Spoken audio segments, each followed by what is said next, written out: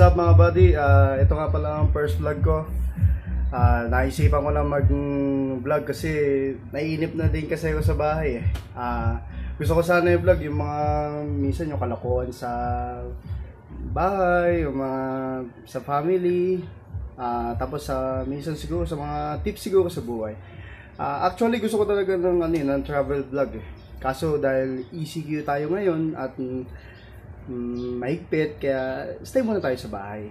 Ah, saka wala rin tayong pera pa sa ngayon kaya ganun talaga. kaya bago ang lahat, ah, gusto ko sana magpakilala muna sa inyo. Ako nga pala si Christian Garcia. Yes, ah, Christian, medyo ang ganda ng pangalan ko talagang parang kay bait-bait tignan. Kaya pwede niyo rin naman ako tawaging Daddy J kasi may isa na rin akong anak at ah, isa na rin akong ganap na daddy. Ngayon naman ipapakilala ko sa inyo ang aking pamilya.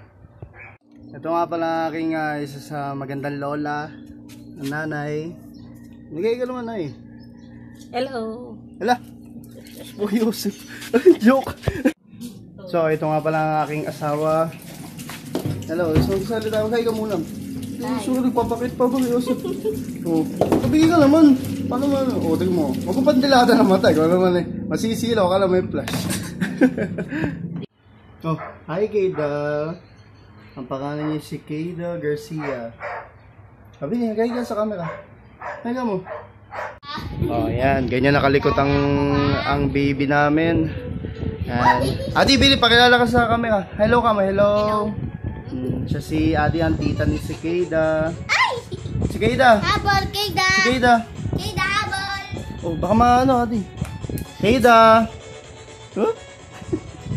Malikot na ang bata makulit. Gabang tayo, Ayan, malikot na siya. Hindi na po pwedeng iwan sa ano dahil minsan eh pag nakadakma eh sinusubo ka agad. Si Keida! So, paano? Ah, maraming salamat po sa pamanonood nyo at sa matyagang panonood nyo dito sa aking first vlog.